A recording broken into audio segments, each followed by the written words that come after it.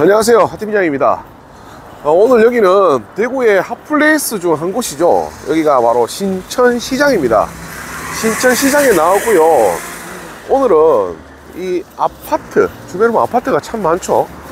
아파트 진입하는 이 라인에 이 도로를 물고 있는 통상가 건물입니다. 그리고 가격도 무려 3억이라고 깜짝 놀랄 금액으로 나와 있어서 저도 궁금해서 이렇게 나온 김에 영상을 준비를 했어요. 이 길목을 내려가면 오른쪽에 보면 여기가 참 멋들어지게 지어져 있죠. 여기가 참 안타까운 소식이 들린 그 아파트입니다. 바로 빌리즈 아, 빌리브 헤리티지 아파트인데요. 뭐 분양도 안 되고 하다 보니까 이제 공매로 넘어갔죠. 아파트가 참 위치도 좋고 내부 지어진 quality라든지 이런 게 참 좋은 아파트인데 경기에 직격탄을 맞은 것 같습니다. 참 그 점이 아쉽게 생각이 들고요.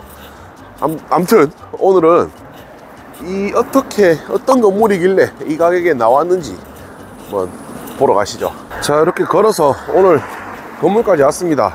바로 앞에 보이는 게 오늘 소개할 건물입니다. 2층 통상가이고요. 뭐 주택수 전혀 상관없는 건물이고요.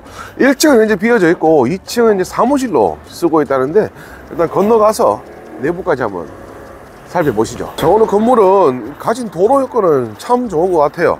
이 뒤편에 아파트들, 이 뒤편에 아파트들만 해도 약 2,500세대 정도 되거든요. 2,500세대 아파트 진입하는 이 메인 길가에 있는 상가이기 때문에 입지적으로는 참 좋은 것 같습니다. 일단 내부는 어떻게 구성이 되어 있는지 들어가 보도록 할게요. 자, 1층에는 간판은 좀 그렇죠? PC 포커 hold'em 마코 이거는 조금 비선호하는 세입자고요. 일단 현재 이 세입자분 문 닫고 나갔습니다. 주인한테 이야기해서 들어왔고요. 내부가 아, 들어오다 보니까 좀 작네요. 땅이 작아요. 땅이 생긴 모양 그대로 지금 이렇게 상가도 구성이 되어 있는데 정사각형도 아니고 안쪽으로는 좁고 제가 있는 쪽으로 가면서 좀 넓어지는 약간 목골의 삐뚤한 구조라서 땅 모양은 크게 좋은 것 같지는 않습니다. 아, 저, 뭐, 이거는 스위치가 이게 천지, 아, 작동은 되지 않는 스위치 같네요.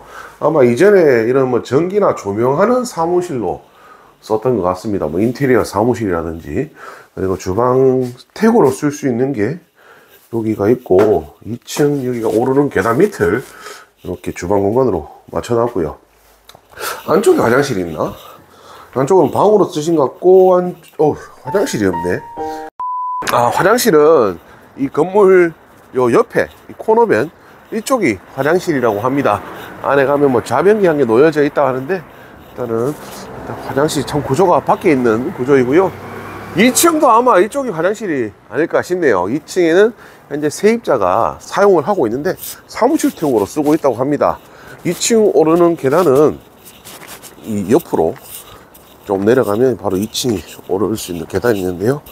이렇게 별도로 구조가 되어 있습니다. 현재 사무실로 쓰고 있고 1층은 나가신 지는 얼마 안 됐다고 해요. 근데 다시 새를 놓고 있는데 야 이거 새 뭐 위치가 이래서 놓긴 놓는데 내부가 너무 좁아서 좀 아쉽긴 하네요. 임대료가 현재 500에 70만 원에 임대를 예상하고 있습니다. 자 그러면 이 건물 도대체 평수라든지 월세는 어떻게 나오는지 내역 한번 설명드릴게요. 상가 두 개로 구성이 되어 있고요. 대지는 35제곱미터 대시 구평수로 하면 10.5평입니다. 2001년 4월 30일 날 준공이 났는 건물이고요 매매가 3억에 현재 나와 있어요. 보증금 1층에 세 놓으면 800만원 현재 인수가 2억 9,200입니다. 월세는 토탈에서 100만원 나오는 건물입니다. 그래서 건물 내용은 이렇게 설명드렸습니다. 자 어떠신가요? 저도 이 동네적인 분위기를 제가 알지 않습니까? 아, 이 동네 이 가격이면 정말 좋다 하고 한번 와봤습니다 근데 조금 개인적으로도 실망 아닌 실망이 했던 부분이 이 땅 모양이 조금이라도 반듯했으면 어떤 구조라도 맞춰서 쓸 새를 놓고 하겠는데 그냥 땅 모양이 참 아쉽고요 그리고 매매 가격이 조금 높게 측정이 되지 않나 조절이 필요하지 않겠나 싶어요. 그래도 주인분이 왜 이 가격을 내놨을까라고 생각을 해보니까 이쪽이 이제 재개발 지역으로도 묶여 있고요. 재개발 이야기가 나왔던 동네입니다. 그래서 아, 그 부분까지 이제 반영이 되어 있지 않나 하고 예상이 드는데 건너편에 보시면 헤리티지 아파트 있죠. 이 아파트 제가 영상을 시작했던 도로변부터 이 앞쪽에 도로와 좌측에 주택 부지 있죠. 이까지 같이 묶여져 있던 지역이었어요. 그런데 옆에는 좌측에는 동강 잘라내고 이쪽에만 지구단위 계획으로 이렇게 아파트를 지었습니다. 오늘 건물도 그런 리스크가 좀 있어요.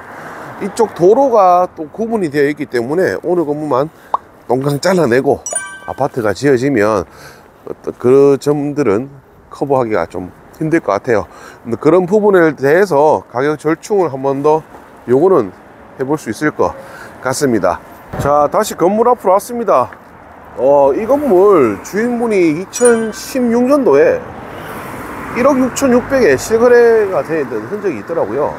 그래서 그런 점들을 봤을 때, 어, 이 건물이 필요하신 분들에게는 가격 조절을 좀 통해서 좋은 조건으로 인수해도 아마 나쁘지 않을 거예요. 뒤쪽에 아파트 세대수만 해도 2,000세대 넘고 아파트에 진입하는 이 길목을 접해 있는 건물이라서 시인성이 상당히 좋은 매물입니다. 그런 또 장점들도 있고 그런 장, 단점들은 금액적인 부분이기도 하고 뭐 내부 구조 등 있지만 감각이 좋으신 분들이 인수를 하시면 좀 더 예쁜 건물로 바뀌지 않을까라고 예상이 되기도 합니다. 오늘 영상은 여기서 마무리하고요. 앞으로도 다양한 매물로 인사드릴 수 있는 팀장 되겠습니다. 구독, 좋아요 부탁드릴게요. 감사합니다.